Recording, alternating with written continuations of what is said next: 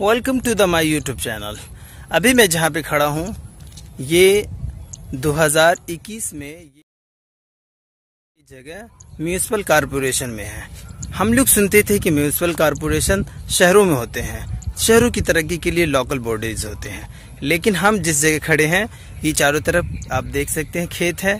उधर मेरा गाँव बसा हुआ है, लेकिन यहाँ म्यूनसिपल कारपोरेशन काम करेगी, जिसकी वजह से अभी बिहार की जो लोकल बॉडीज के जो इलेक्शन हो रहे हैं, वो यहाँ पे हो नहीं रहे हैं, क्योंकि ये म्यूनसिपल में चले गए हैं। आप सोच सकते हैं कि यहाँ के लोग चाह नहीं रहे कि यहाँ म्यूनसिपल बने, क्योंकि म्यूनसिपल के लायक भी नहीं है। न रोड है, न बिजलियाँ उतनी अच्छी है, लेकिन लोग न जाने किस तरह फैसला करते हैं। यहाँ के आम लोग भी इससे खुश नहीं है, लेकिन यहाँ की गवर्नमेंट जो बिहार की है, या फिर जो बैठे समस्तीपुर में एडमिनिस्ट्रेटर है। उन्हें ये अच्छा लगता है कि ये म्यूनसिपल कारपोरेशन में आए। हालाँकि इसकी कोई ज़रूरत नहीं है। अभी लोकल बॉडीज़ के ज़रिए यहाँ थोड़ी सी तरक्की की जा सकती थी। लेकिन लोगों के अंदर वो चीज़ पता नहीं क्यों चले गए। आप देख सकते हैं कि मेरे पीछे उधर समस्तीपुर दिख रहा है। वो जो हमारे डिस्ट्रिक्ट का शहर है समस्तीपुर। लेकिन वो उतना दूर और ये पूरी बीचों बीच में ये जगह जहाँ पे मैं खड़ा हूँ। लेकिन यहाँ म्यूनसिपल कारपोरेशन में हमारी विधानसभा ने इसको पास किया है। अब सोच सकते हैं कि इसकी कोई ज़रूरत नहीं है। यहाँ के लोगों से मैंने जब पूछा कि लोकल बॉडीज़ के जो मुखिया के इलेक्शन क्यों नहीं हो रहे, चूँकि अभी तक मुखिया होते थे यहाँ, लेकिन इस बार विधानसभा की जो वहाँ की एक बिल के बाद ये जगह म्यूनसिपल कॉरपोरेशन में शामिल कर लिए गए यही नहीं, यहाँ से तीन किलोमीटर दूर और वहाँ भी खाटी देहात है। लेकिन लोग उसको म्यूनसिपल कॉरपोरेशन में शामिल कर लिए। लोगों का कहना यह है कि शायद लोग, सरकार को टैक्सेस चाहिए, शायद लोगों को पता नहीं किस तरह की सियासत चाहिए कि यहाँ के लोगों को बांट दिया जाए।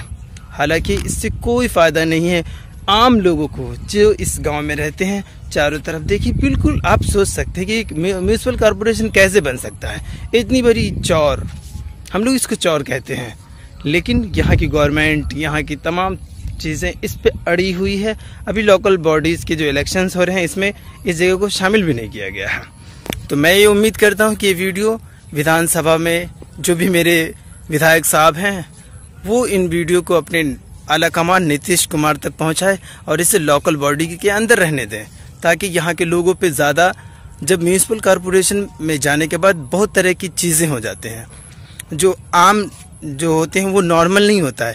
उसके बहुत सारे टैक्सेस बढ़ जाते हैं, वहाँ के लिविंग स्टैंडर्ड बढ़ जाते हैं। लेकिन यह भी इसकी बुनियादी सहूलियत की ज़रूरत है। लेकिन अभी लोग उसके बजाय यहाँ म्यूनसिपल कॉरपोरेशन में ले गए हैं। उम्मीद करते हैं कि ये वीडियो हमारे बिहार के मुख्यमंत्री नीतीश कुमार तक पहुँचे और उनको बताया जाए कि ये फैसला जो, और ये समस्तीपुर से सटा हुआ एक हैरपुर एलोत पहले यहाँ का पंचायत हुआ करता था। इसको फिर से बहाल कर दिया जाए, ताकि फिर से यहाँ की जो गुरबत तंगदस्ती में लोग रहते हैं, वो अपनी सही ज़िंदगी जी सके। शहर के माड़ में, शहर के इसमें जाकर वो अलग से दबाव न अभी ये ज़मीन जो खाली दिख रहे हैं, ये आम लोगों की है। लेकिन ये जब म्यूनसिपल कॉरपोरेशन में चले जाएँगे तो यहाँ पे जो आम लोग रहते हैं, उन्हें यहाँ से छोड़कर जाना पड़ेगा। और ये ज़मीन किसी और के हाथ में चले जाएँगे। इसीलिए उम्मीद करता हूँ कि ये वीडियो मुख्यमंत्री नीतीश कुमार तक पहुँचे और वो अपने जो ये फैसले हैं, उन्हें वापस लें।